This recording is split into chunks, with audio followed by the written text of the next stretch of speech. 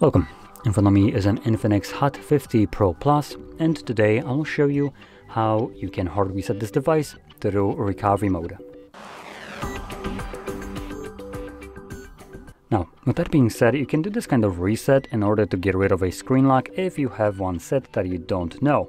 But for the most part, most devices that come uh, with a Google account, which uh, you probably have a Google account signed in, uh, after the reset will force you to verify either the screen lock, which you don't know, or the Google account. So if you can't do one of those at least, you won't be able to finish up the setup. So I just wanted to warn you. Now I do have a pattern set right here, and even though I know it, I'm gonna progress from uh, the lock screen as though I don't know it. So number one, we're gonna hold power button, and then you wanna select power off.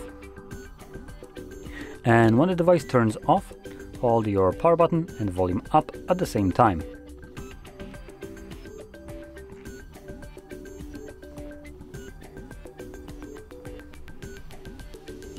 Let go of the power button when you see the logo.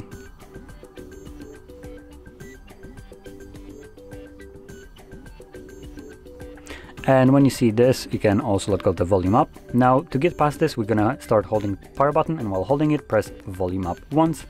This will redirect us to the recovery mode and then here using volume buttons, you want to select wipe data, factory reset, and it's selected, confirm it with the power button, then select factory data reset. It's gonna format data, then give you a message, data wipe complete. Reboot system now will be selected by default, so press power button once more, and this will now reboot the device, continue resetting it in the background, and once it's finished, we will be presented with Android setup screen. So I'll be back once that is visible for me.